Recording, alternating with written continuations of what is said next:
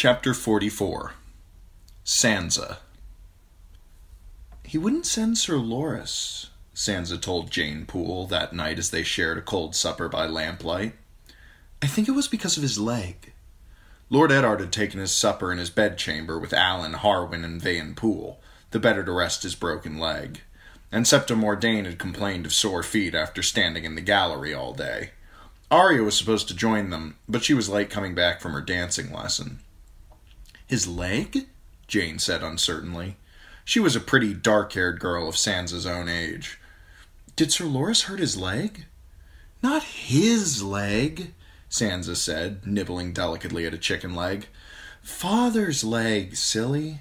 It hurts him ever so much. It makes him cross. Otherwise, I'm certain he would have sent Sir Loras.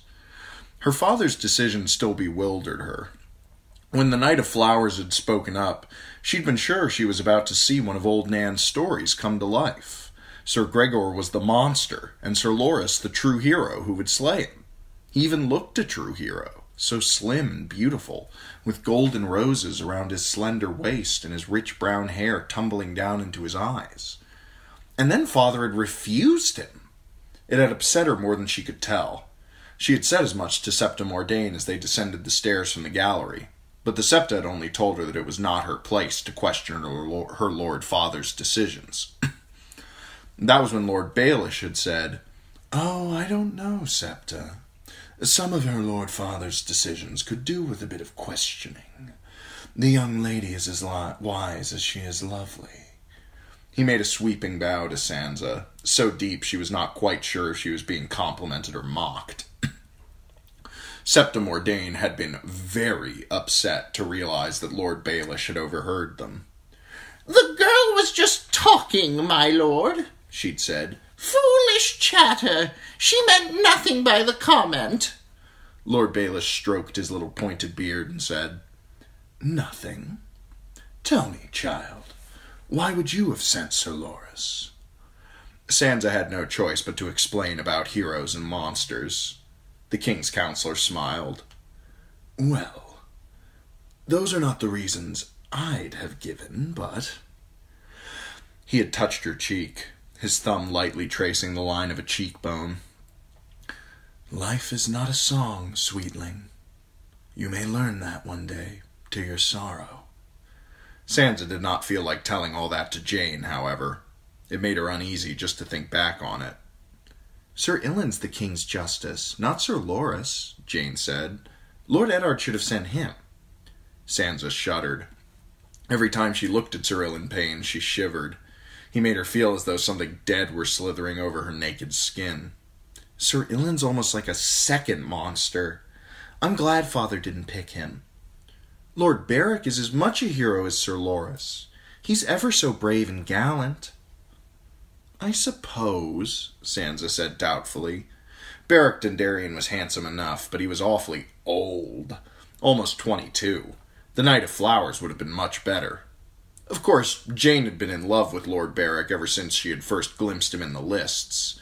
Sansa thought she was being silly. Jeyne was only a steward's daughter, after all.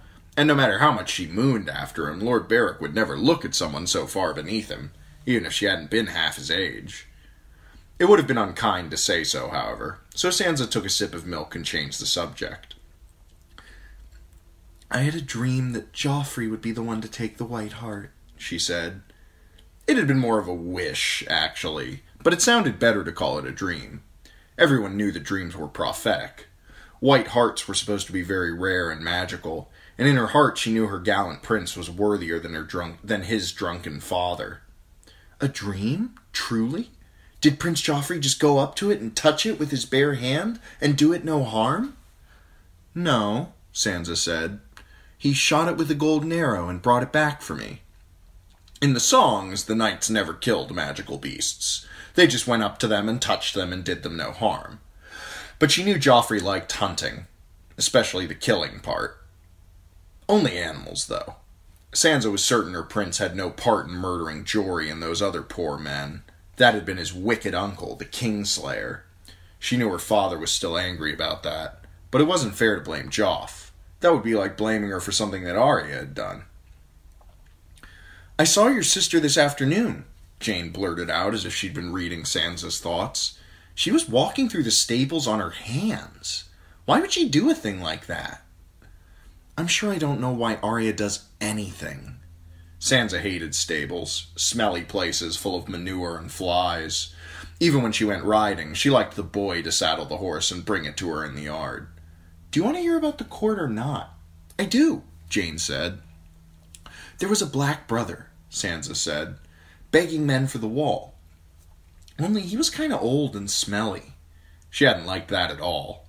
She'd always imagined the Night's Watch to be men like Uncle Benjen. In the songs, they were called the Black Knights of the Wall. But this man had been crook backed and hideous, and he looked as though he might have lice. If this was what the Night's Watch was truly like, she felt sorry for her bastard half brother, Jon. Father asked if there were any knights in the hall who would do honor to their houses by taking the black, but no one came forward.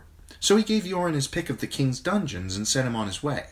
And later these two brothers came before him, free riders from the Dornish marches, and pledged their swords to the service of the king. Father accepted their oaths. Jeyne yawned. Are there any lemon cakes? Sansa did not like being interrupted, but she had to admit, lemon cakes sounded more interesting than most of what had gone on in the throne room. Let's see, she said. The kitchen yielded no lemon cakes, but they did find half of a cold strawberry pie, and that was almost as good. They ate it on the tower steps, giggling and gossiping and sharing secrets, and Sansa went to bed that night feeling almost as wicked as Arya. The next morning, she woke before first light and crept sleepily to her window to watch Lord Beric form up his men. They rode out as dawn was breaking over the city, with three banners going before them. The crowned stag of the king flew from the high staff, the direwolf of Stark and Lord Beric's own forked lightning standard from shorter poles. It was also exciting, a song come to life. The clatter of swords, the flicker of torchlight, banners dancing in the wind, horses snorting and whinnying, the golden glow of sunrise slanting through the bars of the portcullis as it jerked upward. The Winterfell men looked especially fine in their silvery mail and long gray cloaks. Alyn carried the Stark banner. When she saw him rein in beside Lord Beric to exchange words, it made Sansa feel ever so proud. Alyn was handsomer than Jory had been. He was going to be a knight some day. The Tower of the Hand seemed so empty after they left that Sansa was even pleased to see Arya when she went down to her to break her fast. Where is everyone? Her sister wanted to know as she ripped the skin from a blood orange. Did father send them to hunt down Jaime Lannister? Sansa sighed. They rode with Lord Beric to behead Sir Gregor Clegane. She turned to Septa Mordane, who was eating porridge with a wooden spoon. Septa, will Lord Beric spike Sir Gregor's head on his own gate, or bring it back here for the king? She and Jeyne Poole had been arguing over that last night. The Septa was horror struck. A lady does not discuss such things over her porridge. Where are your courtesies, Sansa? I swear of late you've been near as bad as your sister. What did Gregor do? Arya asked. He burned down a holdfast and murdered a lot of people, women and children too. Arya screwed up her face in a scowl. Jaime Lannister murdered Jory and Heward and Will, and the Hound murdered Mycah. Somebody should have beheaded them. It's not the same, Sansa said. The Hound is Joffrey's sworn shield. Your butcher's boy attacked the prince. Liar, Arya said. Her hand clenched the blood orange so hard the red juice oozed between her fingers. Go ahead and call me all the names you want, Sansa said airily. You won't dare when I'm married to Joffrey. You'll have to bow to me and call me your grace. She shrieked as Arya flung the orange across the table. It caught her in the middle of the forehead with a wet squish and plopped down into her lap. You have juice on your face, your grace, Arya said. It was running down her nose and stinging her eyes. Sansa wiped it away with a napkin.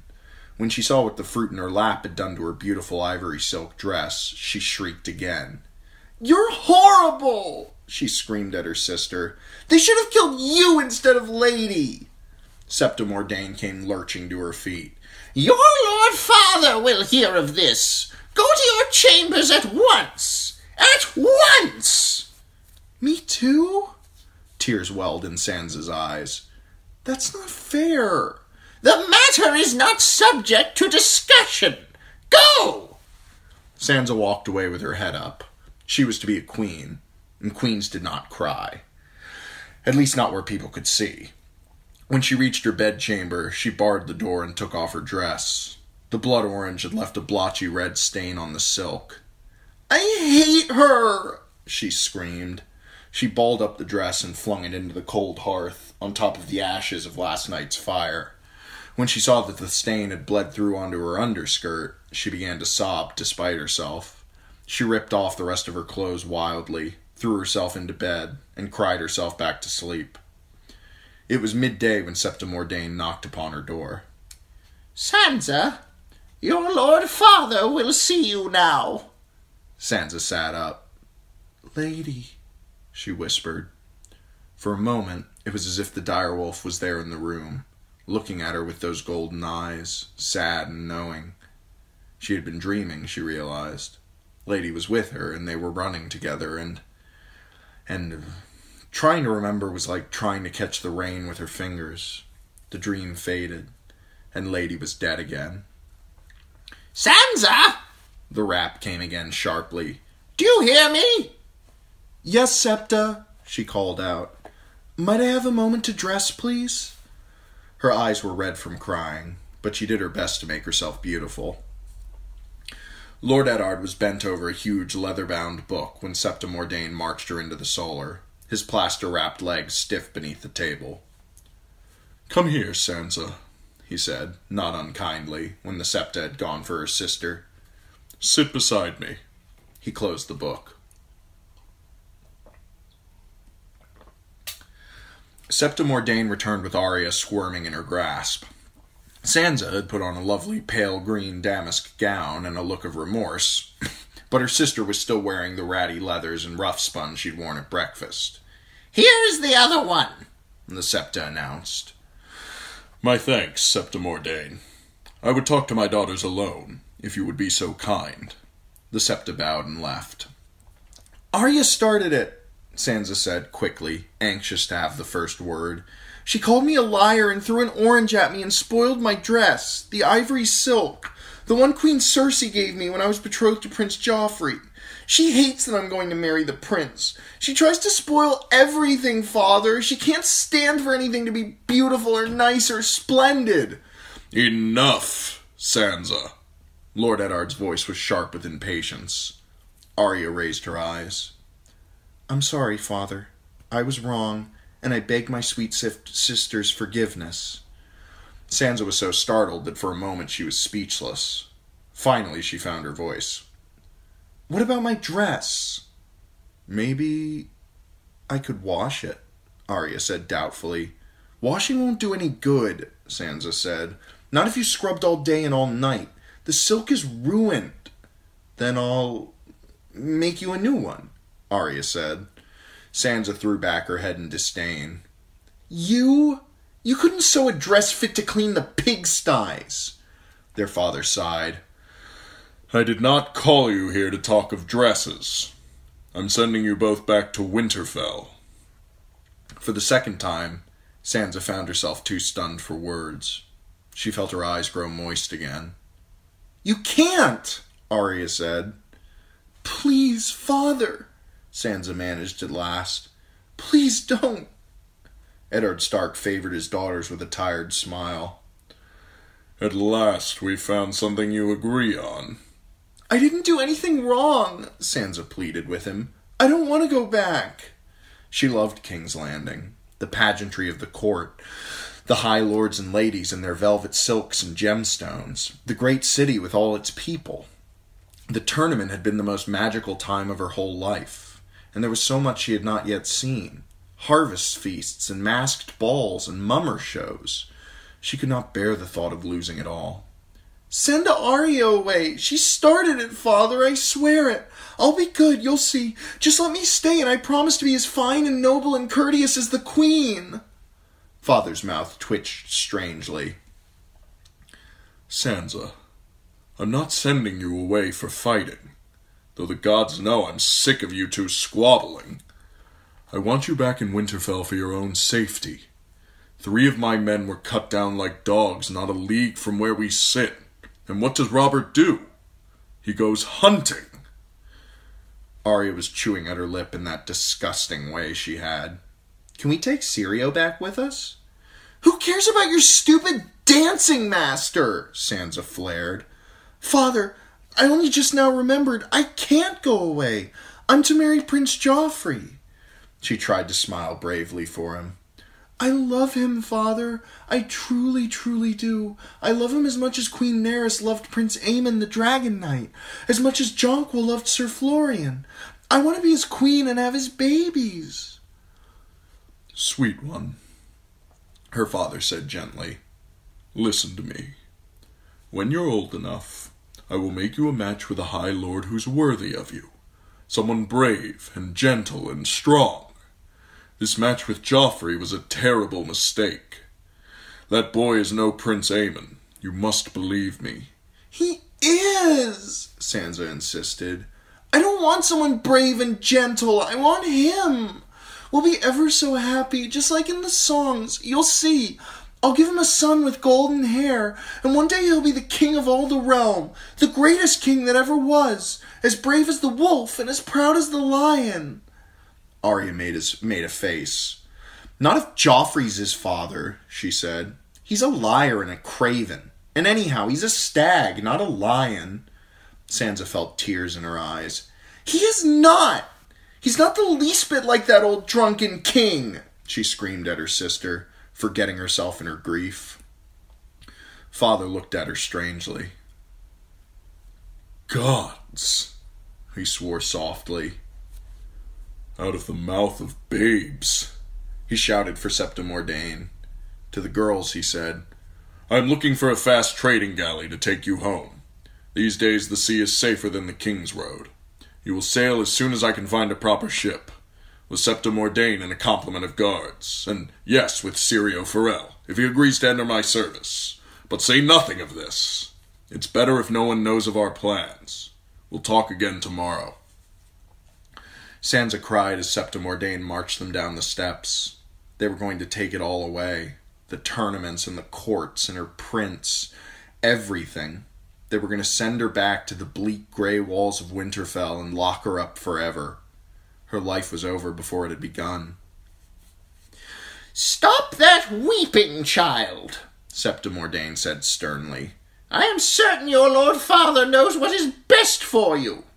It won't be so bad, Sansa, Arya said. We're going to sail on a galley. It will be an adventure. And then we'll be with Bran and Robb again, and old Nan and Hodor and the rest. She touched her on the arm. Hodor! Sansa yelled. You want to marry Hodor. You're just like him, stupid and hairy and ugly. She wrenched her she wrenched away from her sister's hand, stormed into her bedchamber, and barred the door behind her.